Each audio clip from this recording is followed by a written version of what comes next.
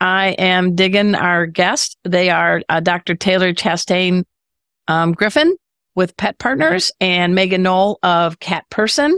And I have to make a confession, a cat confession.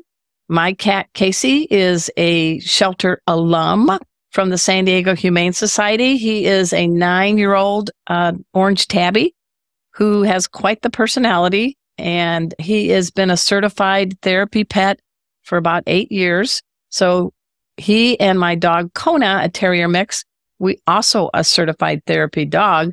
We go to Brookdale memory care centers, schools, but we also teach pet first aid. And I am so blessed to have the two of them team up with me. We call them Pet Safety Cat Casey and Pet Safety Cat Dog Kona. But walking into a building on a leash and a harness and sitting and doing paw touches and all that, Casey does it automatically.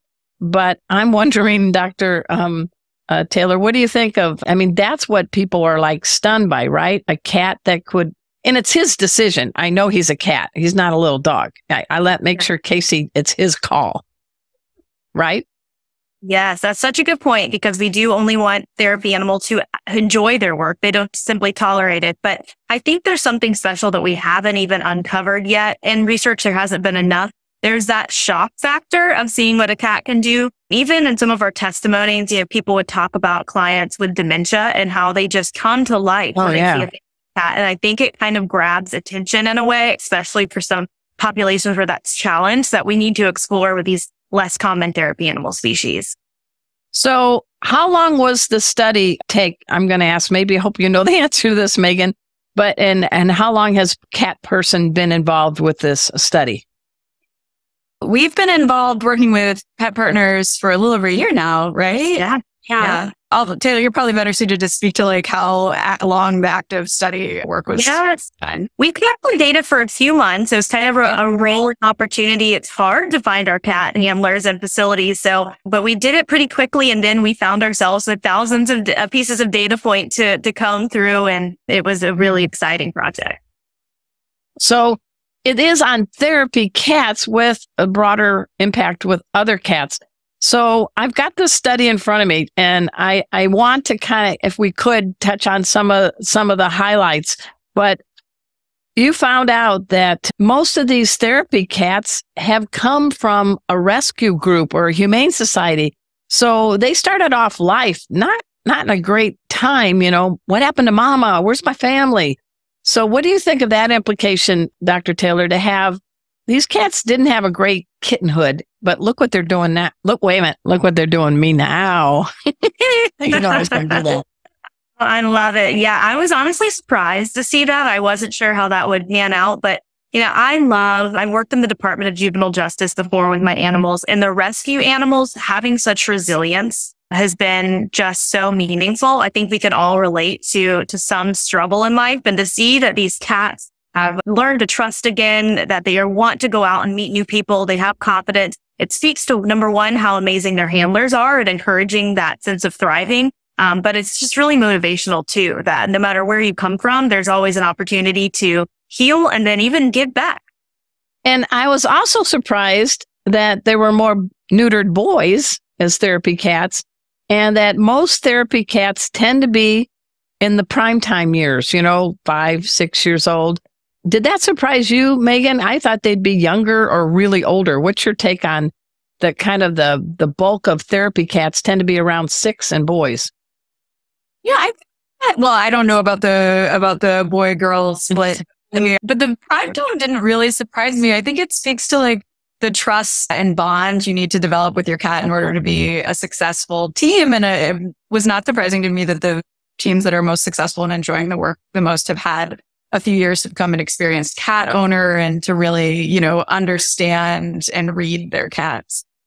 So there is a long list of benefits that therapy cats do for people. And I'm hoping each one of you can maybe identify three. And who wants to go first? Raise a paw. Oh, I'll go first. All right, Meghan's like, I'm in, I'm in, I'm in the more obvious ones. Um, all right, name three. Name three. I think the three that were most impressive to me were that decreased depression, decreased anxiety, and decreased stress. And that was reported both by the clients, but also by the facility staff that therapy teams were going into. Very good. And how about you, Dr. Taylor? You got three up. Sure. So I'll talk a little bit about the the thing that was surprising was increased interest in cats, increased storytelling and ab- about pets from the past, even for people, for example, with dementia who have a hard time accessing other memories and increased affinity for cats. So people have said, I'm not a cat person at the beginning were big time cat people by the end that they visited with the therapy cat. Which wow. was a third, right? It was yeah. a third of the people initially said that they weren't cat people and then got convinced over the course of one visit. I yeah. think when I hear, I say real men love cats. And my brother has a cat, and I have good friends like Nathan, the cat lady, and Sterling Trap King Davis, and people like that. I think they're making it more socially acceptable.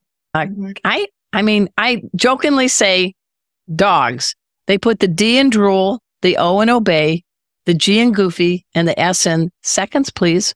But cats, cats put the C in candid, the A in attitude, the T in tenacious, and my favorite, the S in so what? now, that's not a scientific study, Dr. Taylor, but we need to start treating cats not as small dogs, right? What is something, what's a superpower a cat has? Each one are going to pick. This time, Dr. Taylor goes first. What's a superpower a cat possesses that people need to know? You talked about honesty that came up in the study, and that's what people really like. They are very authentic and intuitive. And I think the clients in this study spoke to that being powerful. You feel chosen when a cat likes you, and that's special. We should honor that that's a different kind of trait than most dogs have. Yeah, I think people say, yeah, my dog loves me. My dog loves me. Oh, I think my cat loves me too. Is that what you're saying? Yeah, yeah. How about you, Meghan? What's your take on the superpower of cats?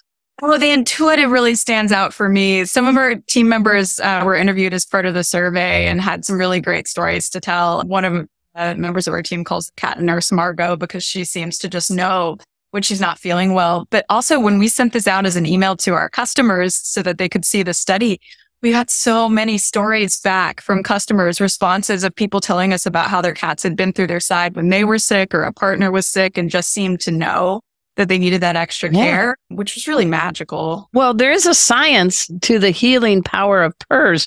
It's not just me yapping out it, but there there hertz, megahertz, whatever. There is some a study's been done. Years ago, I was the editor of Catnip through Tufts University for eight years and got to study with people like Dr. Dodman and Alice Moon Fanelli and others. So I've been very well schooled on all cats. We just have about a minute and a half left, and I wanted to just ask there may be some people interested, Dr. Taylor, in having their cat become a therapy cat. And what kind of tips could you offer? So number one, we saw get your cat ready and familiar with travel. That's the hardest piece. You know, you want to make that a rewarding experience where we're not just going in the car for the vet.